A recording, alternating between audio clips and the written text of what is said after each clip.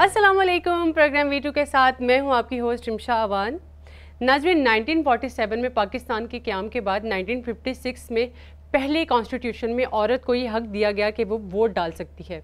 लेकिन आज की औरत न सिर्फ़ वोट डाल सकती है, बल्कि prime minister, federal minister opposition leader और इसके साथ ही साथ आर्मी के भी आला रुतबर पर फाइज है। ऐसी एक खातून मेरे साथ मौजूद है जिन्होंने ना सिर्फ़ औरत के तहफ़ के लिए अपनी आवाज़ बुलंद की, बल्कि उनके तहफ़ के लिए कानून साज असम्बली में बैठ कर कवानीन भी बनाए हैं। हमारे साथ मौजूद है मुसरत जमशेद चीमा साहिबा, जो कि रुकन है पंजाब असम्बली की और तर्जमान है पंजाब हुकूमत की। उन्हें वेलकम करते हैं। Welcome, ma'am, and thank you so much. आपने हमें अपना कीमती टाइम दिया। अच्छा बचपन से ही शौक़ था कि जब मैं बड़ी हो जाऊँगी जब हर बच्चे को शौक़ होता है कि मैं बड़े होकर डॉक्टर बनूँगा आपको ये शौक़ था कि मैं एक दिन बड़ी होकर कानून साज असम्बली में बैठ के औरतों के लिए कानून बनाऊँगी या किसने मोटिवेट किया? बहुत शुक्रिया आपका मैं आपकी शुक्रगुजार हूँ। इससे बहुत अच्छा रहता है हम पब्लिक के नुमाइंदे हैं कि हमारी एक्चुअल थाट क्या है हम कैसे पॉलिटिक्स में आए। पॉलिटिक्स की अगर हम बात करें तो पॉलिटिक्स में मैं शादी के बाद ही आई। अच्छा। चीमा साहब ने पीटीए ज्वाइन की। और उनकी वजह से मैंने ज्वाइन की। अच्छा चीमा साहब का भी वही प्रोफेशन है आपका भी वही प्रोफेशन है। कितना आपको ये मददगार मतलब मददगार साबित हुआ कि आपके हस्बैंड भी वही प्रोफेशन कैरी कर रहे हैं आप बेसिकली इट्स अ प्रोफेशन तो हमारा हम होली सोली बिज़नेस कम्युनिटी से हैं बट इसको हमने खिदमत के लिए चूज़ किया। मसलन कि जो पाकिस्तान जिन मसाइल से गुज़र रहा था अगर हम 2010 की बात करें तो उस वक्त कोई होप नहीं समझ आती थी उम्मीद ना उम्मीदी ज़्यादा थी। चीमा साहब ने प्रैक्टिकली ज्वाइन किया उसके बाद मैं सिर्फ़ शुरू में उनके हल्के की हद तक काम करती थी। Then party came to know कि अच्छा एक तो बड़ी ज़बरदस्त वर्कर है। अच्छा। I am thankful to them तो लीडरशिप ने फिर मुझे अप्रोच किया कि आप भी बाकायदा तंजीमी सियासत में भी हिस्सा लें। ठीक। शुरू में मैंने मेरे बच्चे बहुत छोटे थे। अच्छा अच्छा। एग्जैक्टली exactly, अभी तो मेरा पहला बेटा वो तो उसकी अभी मतलब ही वॉज़ लाइक कुछ मंथ्स का अच्छा, अच्छा, जी। अच्छा, तो मेरे लिए मुश्किल था काफ़ी था चैलेंजिंग था। जी चैलेंजिंग था। देन दे अप्रोच चीमा साहब अगैन एंड अगेन कि आप ही नहीं चाहते उन्होंने ऐसे ताने दिए चीमा साहब को कि आप नहीं चाहते कि ये सियासत में आए। तो चीमा साहब बेसिकली अगर मैं बात करूँ मेरी सक्सेस के पीछे मेरी जो पार्टी लीडरशिप है ऑफ़ कोर्स अल्लाह का करम पार्टी लीडरशिप लेकिन ये जो मेरा इनिशिएटिव मेरे लिए लिया वो मेरे मियाँ ने लिया। मियाँ ने लिया। तो मतलब हर कामयाब मर्द के पीछे जो औरत का हाथ होता है और हर औरत के पीछे भी बिल्कुल exactly. एक मर्द का हाथ है और वो खामंद होता है बाप होता है भाई होता है जो आप पे ट्रस्ट इतना करते हैं और आपको बाहर निकालते हैं कि आप लड़ें। आप ना सिर्फ़ खातन के हसूल के लिए लड़ती हैं बल्कि उनकी कवानीन भी बनाती हैं। इसके बारे में क्या कहेंगे हमारा स्लोगन चूँकि चेंज था सोसाइटी में सिस्टम में उसमें जो सबसे ज़्यादा आज भी जिस वक्त हम बात कर रहे हैं जो चेंज लाने की ज़रूरत है ख़वान को प्रोटेक्शन ख़वान से रिलेटेड चीज़ों में बहुत रिक्वायरमेंट है। इट्स लाइक ये तो पूरे सब कॉन्टिनेंट का इशू है। अब हमारे सोसाइटी में जब तक हम बात करते हैं इकोनॉमिक रिफॉर्म्स की हम प्रोग्रेस की जीडीपी की GDP ये, ये सारी चीज़ें लिंक किससे करती हैं आपकी पॉपुलेशन से? ओके? okay? ओके। okay. हमारे माशरे ने औरत के मैं जितना करीब से देखती हूँ औरत का काम करना जॉब करना रिलेट करते हैं लोग फाइनेंशियल हेल्थ से विच इज़ एब्सोल्युटली रॉन्ग कि जी सानू ज़रूरत नहीं। ज़रूरत नहीं पैसे इतने डायलॉग बोला जाता है और एक इंसल्ट समझी जाती है कि अगर लड़कियाँ काम करेंगी तो क्या मतलब इनके घर में कोई प्रॉब्लम है? प्रॉब्लम है ये बहुत बड़ी ट्रेजिडी है। कैरियर और प्रोफेशनल बिल्डिंग की तरफ़ तो कोई आता ही नहीं है कि उनका एक कैरियर बिल्डिंग भी है। उसमें फिर आगे बात आ जाती है स्टेट की आपके कवानीन की कि we are working on it काफ़ी सारी चीज़ों पे हमें ये है कि आपको पता है कि हमारे पास जब हम आए तो बाकी चैलेंजेस बहुत बड़े थे। रियासत का रोल बड़ा अहम है कि हम वीमेन फ्रेंडली इन्वायरमेंट आपकी हाफ़ पॉपुलेशन को आपने रिस्पॉन्सिबिलिटी का शेयर होल्डर बनाना है। हमने बच्चियों को अगर मैं यूनिवर्सिटीज़ में हम देखें तो ऑलमोस्ट इक्वल नंबर हो इक्वल नंबर बिल्कुल ठीक है ना? तो हमें उस इक्वल नंबर को इक्वल अपॉर्चुनिटीज़ में कन्वर्ट करना है। Exactly exactly. ताकि वो एक कारामद शहरी और कारामद शहरी मतलब सबसे पहला बेनिफिशरी तो फैमिली होती है। If a lady she is earning she is working lady तो उसका इम्पैक्ट आता है लाइफ पे। लेकिन जो हम लोग जो वर्किंग में हैं हमारी रिस्पॉन्सिबिलिटी थोड़ी ज़्यादा बड़ी आ जाती है कि हम अपनी बच्चियों के लिए हम उन खा उन दकिया नुसी ख़ानदानों के लिए अच्छी एग्जांपल बने कि हमें देख के लोग अपनी बच्चियों को डर के बिठा ना लें। कि अगर हम हाँ। काम करेंगे तो ओहो ये तो बच्चियाँ ख़राब हो जाएँगी।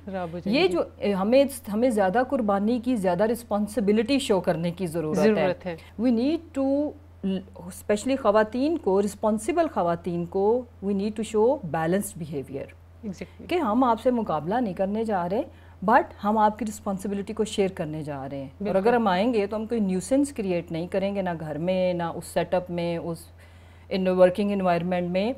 बट हम आ, आपको आपके साथ साथ चलेंगे। जब ये बात रेस रेस रियल लाइफ में रेस की कोई गुंजाइश नहीं, नहीं है। उसमें अगर आप एक दूसरे के साथ क्यों आप दुनिया की सारी एग्जांपल्स लेंगे एक गाड़ी के दो पहिए और अगर एक पहिया आगे निकलता है तो वो एक्सीडेंट होना ही होना, होना है। ही होना है। वो गाड़ी उल्टे ही उल्टे उल्टे की। सो so, तो इसलिए बैलेंस हाँ, करके साथ चलना चाहिए ना कि एक रेस लगानी चाहिए। हमें हाथ से हाथ मिला के आगे बढ़ना है। वुमेन की अगर एक प्रोफेशनलिज्म के लिए सबसे उसे ग्रो करने के लिए ज़रूरी है कि एक हरासमेंट फ्री इन्वायरमेंट उसे दिया जाए। तो इसके बारे में कानून साज असम्बली ने कौन से कानून पास किए हैं या तजावीज़ पेश किए हैं? ये बड़ा अच्छा सवाल है। बेसिकली अगर हम कहते हैं कि हम अपनी 50 परसेंट पॉपुलेशन को इंगेज करें हम्म। उसके लिए उनकी इंगेजमेंट के लिए हमें वो उनको इन्वायरमेंट देना लाजिम है हम्म।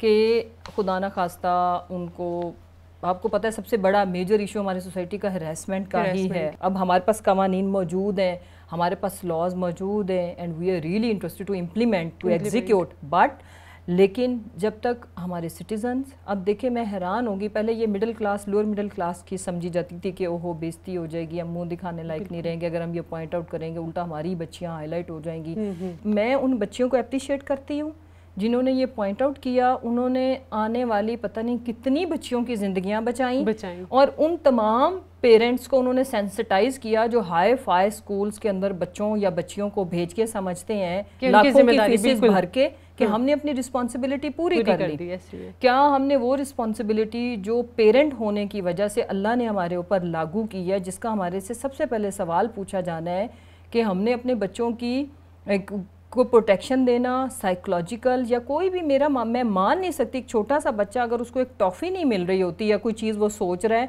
उसके चेहरे पे तासुरात होते उस बच्चे का बिहेवियर फ़र्क हो जाता है। तो यंग बच्चियाँ हमारी माएँ किधर बिज़ी हैं? वो कहाँ बिज़ी हैं कि वो उनकी ऑब्जर्वेशन इतनी वीक हो गई है कि उनकी बच्चियाँ एक इतनी बड़ी ट्रेजिडी ट्रॉमा से गुजर रही हैं। अपने एजुकेशन या अपने वर्किंग इन्वायरमेंट में वो उस चीज़ को हाई समझ नहीं पा रही। सो so, इसमें रिस्पॉन्सिबिलिटी पहली आती है जिस फीमेल के साथ भी खुदा ना खास्ता खुदा ना खास्ता ये हादसा हो जाए। बी कॉन्फिडेंट ट्रस्ट लाइक हमारे पे ट्रस्ट करें गवर्नमेंट पे। पहले ये बात ठीक थी। पहले लोगों के कि जो पॉइंट आउट करता था मारा वही जाता था जलील भी हो जाता था इंसाफ भी नहीं मिलता था। हम रियासत आपके मुदई बनेंगे हम रियासत आपको जस्टिस प्रोवाइड करेंगे हम आपके वकील भी बनेंगे सब कुछ करेंगे लेकिन एप्लीकेशन बहरहाल आपने देनी है। हम आपका नाम भी सीगा राज में रखेंगे और ऐसे लोगों को हम इबरत का निशान बनाएँगे वो चाहे वर्किंग इन्वायरमेंट में हो किसी ऑफ़िस में हो या एजुकेशनल इन्वायरमेंट में गॉड फॉरबिड जिस तरह हुआ सो so, अब इन लोगों ने देखें उन बच्चियों ने हाईलाइट किया जैसे हमारे एजुकेशन मिनिस्टर ने सीएम साहब ने भी नोटिस लिया उन्होंने उन्हें रिक्वेस्ट करनी पड़ी। फिर मैंने भी एक दो टॉक शोज़ के अंदर ये रिक्वेस्ट की कि खुदारा एप्लीकेशन आप जब तक नहीं देंगे उनके खिलाफ एक्चुअल वो तो एक कार्रवाई तो स्कूल ने कर दी कर दी। कि उन्होंने फायर कर दिया लेकिन बात इतनी नहीं होनी चाहिए। उनको कानून के मुताबिक कड़ी से कड़ी सज़ाएँ मिलना इसलिए ज़रूरी है इबरत का निशान बनाना इसलिए ज़रूरी है ऐसे लोगों को स्टिग्माइज करना इसलिए ज़रूरी है कि एक तो वो दोबारा कहीं जॉब ना कर सके और फिर ये मैसेज उन लोगों के लिए जाए जिनकी इंटेंशन ऐसी, ऐसी हैं। या जिनके बारे में अभी तक किसी ने हाईलाइट नहीं किया लेकिन वो भी इन्हीं तरह के जराइम में मुलविस हैं।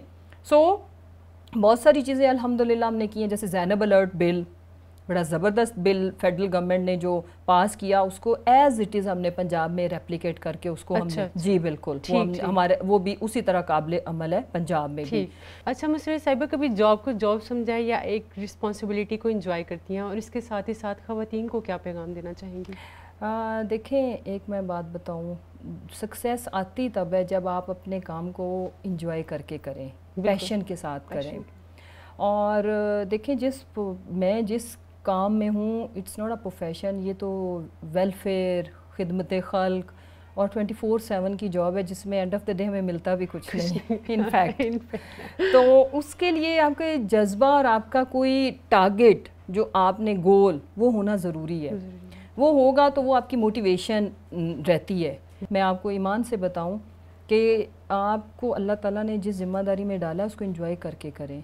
ये कितने ऐसे लोग हैं जिनको ये अपॉर्चुनिटी नहीं, नहीं मिली? बिल्कुल। सो so, मेरा तमाम अपनी बेटियों बहनों और जो माएँ हैं उनके लिए ये मैसेज है माओ के लिए स्पेशली कि प्लीज़ अपनी बच्चियों की एजुकेशन की फ़िक्र करें। जब आपकी एक बच्ची काबिल हो जाएगी मैं आपको एक एग्जांपल देती मैं टिपिकल गाँव के घराने से हूँ राजपूत फैमिली से अगर मेरी माँ ने मुझे ना पढ़ाया होता जहेज़ की फ़िक्र की होती तो आज मैं इस मकाम पे नहीं होती, नहीं होती बिल्कुल। फिर हमें और बच्चियों को बोझ ना समझें। वी आर फोर सिस्टर्स और हमारे पेरेंट्स ने ट्रस्ट मी कभी बेटे और बेटी में फ़र्क नहीं किया तो आज मेरा कॉन्फिडेंस बोलता है मुझे पता ही नहीं चलता फिर आई एम ब्लेस्ड कि मेरे मियाँ भी उसी तरह ही ही इज़ लाइक वीमेन एम्पावरमेंट के दाई हैं मतलब hmm. और हमारी ख़ानदान में हमारी फैमिली में औरत और मर्द में कोई फ़र्क नहीं फ़र्क नहीं है hmm. उसकी उसकी वजह यह है कि हमारी तरबियतों में भी अल्लाह ताला ने वो रखा कि हम अपनी बेटियों की तरबियत ऐसे करें कि वो अपने मर्द का अपने भाई का जो रिश्ते अल्लाह ने दिए हैं उनका बोझ हम बांटें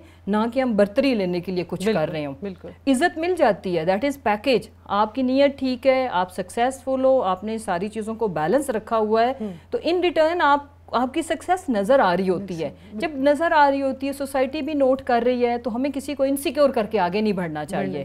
तो बड़ी थिन लाइंस होती हैं वीमेन जो वो ख़वातीन जो किसी मकाम पे पहुँचती हैं तो उनको समझ नहीं आती मुझे ये लगता है वो गलतियाँ अच्छा, करती हैं कर लेती है। जिसकी वजह से बहुत सारे लोगों का रास्ता भी रुकता है। हमने मिल के आगे बढ़ना है और इन ताला जो मैं देख रही हूँ हमारी आज की बच्चियाँ ज़्यादा कॉन्फिडेंट हैं ज़्यादा अच्छे मार्क्स ले रही हैं टॉपर ज़्यादा बच्चियाँ हैं। उनकी सोच भी ग्रूम की है लेकिन आज से दस साल पहले देखिए तो रिस्पॉन्सिबिलिटी हाँ रिस्पॉन्सिबिलिटी में ज़्यादा है। हम्म। तो वो इनशाला सिर्फ़ और सिर्फ़ शादी करने का शौक नहीं है। दस से बीस साल पहले लड़की को शुरू से माँ ये सिखाती थी बिल्कुल हाँ, कि आपकी शादी होगी तो वो सारी फैंटेसाइज अपनी सक्सेस शादी के साथ भी एक और भी मैं बता दूँ कि ये ज़िंदगी का सबसे अल्टीमेट डिसीज़न तो फिर यही है ना इस पे से भी ये हमने शादी भी करनी है बच्चियों की टाइम पे करनी है। हम्म। आगे फैमिली ओरिएंटेड भी उन्हें बनाना है वही बट कुछ ऐसे नहीं कि करियर में डूब के आप अपनी फैमिली को या अपनी फैमिली लाइफ को मिस कर रहे हो। तो बैलेंस रख के चलें तरबियत बच्चियों की माएँ ऐसी करें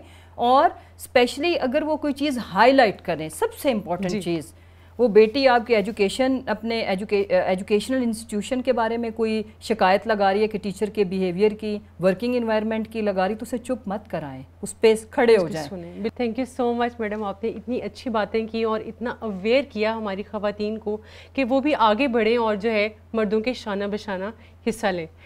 जी तो नाजरीन, हमारे साथ मौजूद थी मुसरत जमशेद चीमा साहिबा और उनका ये कहना था कि आप जो प्रोफेशन औरतें हैं, उनकी ये ज़िम्मेदारी है कि वो अपने करेक्टर से, अपनी सोच विचार से दूसरों को इतना इम्प्रेस करें कि वो भी अपनी बेटियों को बाहर निकलने की और ज़िम्मेदारी उठाने की इजाज़त दें। इसके साथ ही मुझे इजाज़त दीजिए। अल्लाह हाफिज़।